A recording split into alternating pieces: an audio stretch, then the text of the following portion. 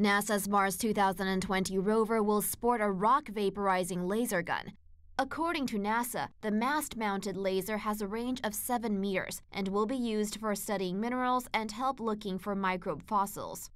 The rover mast features the SuperCam, a next gen version of Curiosity's ChemCam.